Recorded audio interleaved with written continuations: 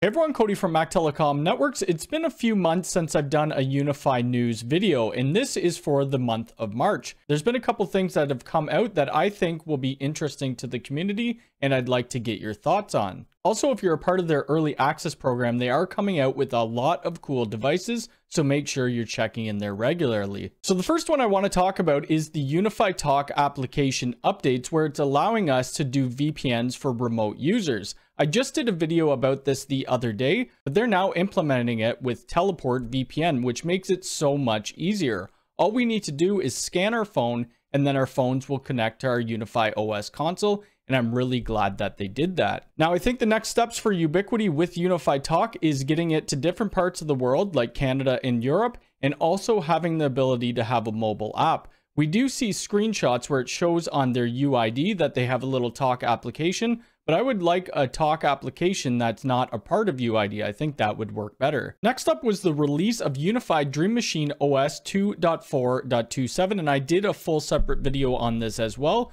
This is the first stage of getting your UDM Pros to be up to UniFi OS 3.0. The next release should be something like 2.5.x and then will be pushed up to 3.0. I will leave that link down below to the video. And another thing that Ubiquiti teased is a big update for the PTZ camera, and this includes tracking. I'm hoping that they have patrolling with this as well. They put this out there on their community forums as well in their Discord. Let's take a look at the tracking feature. And I am going to be installing a PTZ camera at a customer's and we'll be able to test this and see if it works well.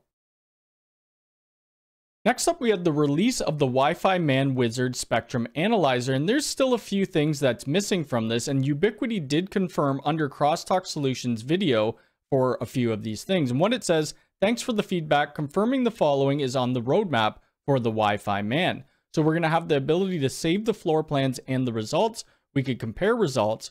We'll have the ability to push results to UniFi Network, and we'll be able to push it to UniFi Design Center, which is actually really, really good. The ability to be able to compare results will be very helpful if you do your initial scan and it's pretty weak in some areas, so then you move the AP and you want to compare that. They're providing us with a lot of utilities to be able to test our Wi-Fi networks. And the last thing we'll talk about is Ubiquiti coming out with the NAS. And this is all speculation. I have no idea if they're going to or not. But on Reddit, we have Reddit user Duke under slash Seb, and he was able to create a NAS using his UNVR. And I do have a spare UNVR, so if you're interested in me walking through the steps that were provided on this Reddit post, and you could see if it works or not, let me know in the comments below. But if we scroll all the way down to these Reddit comments, Ubiquiti did comment. They said, interesting product idea. How many of you would be interested in a UniFi NAS? And of course, there was a lot of people who would be interested, and then there was a lot of people who think they should just stick to networking.